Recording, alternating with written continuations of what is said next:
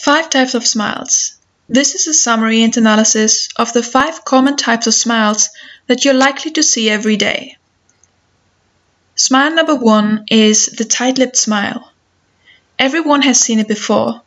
The lips are stretched tight across the face to form a straight line and conceal the teeth. It sends the message that the smiler has a secret or a withheld opinion that they're not willing to share with you. According to the book The Definitive Book of Body Language by Alan and Barbara Pease, it is commonly used by women who don't want to reveal that they don't like someone. For example, one woman might say to another, She is very capable, and she knows what she wants, followed by a tight lipped smile. The tight lipped smile is also commonly seen in pictures of successful businessmen, who have a tendency to talk about principles of success, but rarely do they reveal the exact detail of how they succeeded.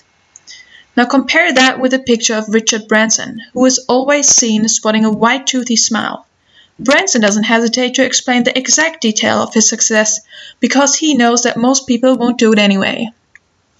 Number two is the twisted smile. Look at this picture of Rick Santorum, American attorney, author, and politician. He's portraying the perfect twisted smile. This smile shows opposite emotions on each side of the face. Imagine we place a double-sided mirror down the middle of the face at an angle of 90 degrees. We would produce two completely different faces with opposite emotions. One face would display a cheesy grin, the other an angry frown. The authors of the Definite Book of Body Language state that the twisted smile is peculiar to the Western world and can only be done deliberately, which means it can only send one message, which is in fact sarcasm. Another common smile is the drop jaw smile.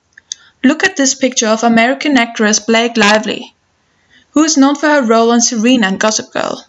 According to Mr. and Mrs. Pease, the drop jaw smile is an attempt to involve the eyes in the smile.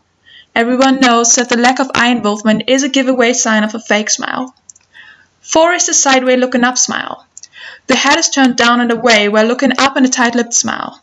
The sideways looking up smile makes the smile appear juvenile, but also playful and secretive. It has been shown to be men's favorite everywhere because apparently it engenders parental male feelings, making men want to protect and care for females. Lady Diana mastered this smile, and this is the same smile now used by Prince William.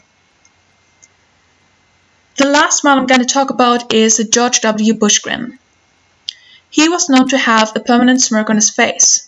Smiling among middle class people is most common in Atlanta, Louisville, Memphis, Nashville, and most of Texas.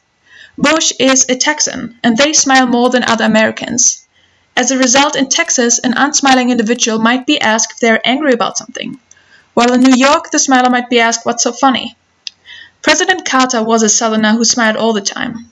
This worried the Northerners who feared that they uh, didn't know about something. Let's end this video with a great quote. Smile constantly, everyone will wonder what you've been up to. Thanks for watching and subscribe.